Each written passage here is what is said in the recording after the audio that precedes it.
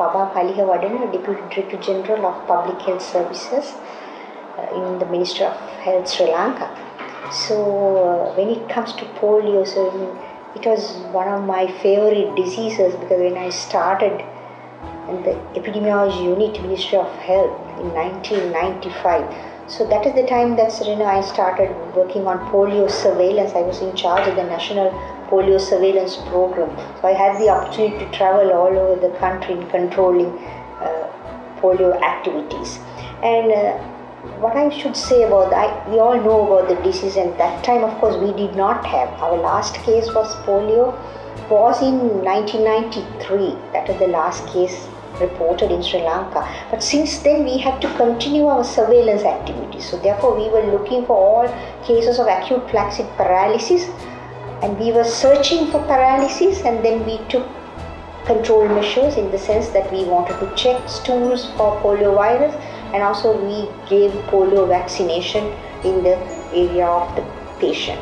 So that is the time so we strengthened and also we had a lot of civil unrest areas where I had to visit those areas to do national immunization days I can remember.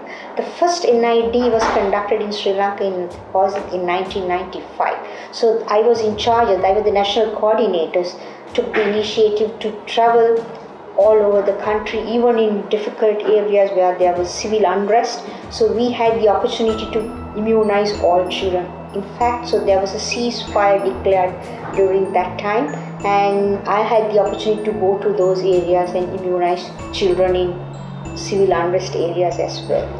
So then we continued to do the surveillance activities and immunization and then I was in charge of the national immunization program as the chief epidemiologist. So we were able to immunize and got a very high coverage for polio vaccination in our country.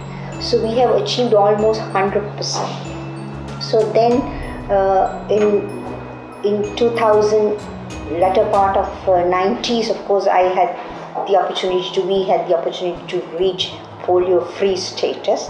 And we were supported by many organizations and i must be very thankful to the organization unicef especially they provided me the support in traveling to those civil unrest areas and also the WHO for giving us the technical support a lot and also for Rotarians in the implementation activities in Sri Lanka. So supported us a lot for the government of Sri Lanka, the Minister of Health to achieve polio-free status in our country.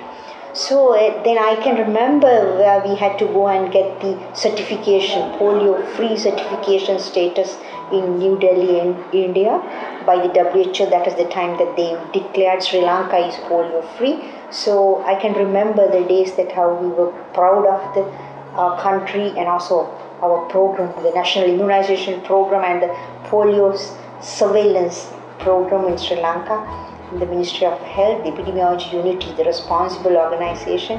I was heading that organization at that time. So I'm so happy that I have been able to achieve polio free status in my lifetime.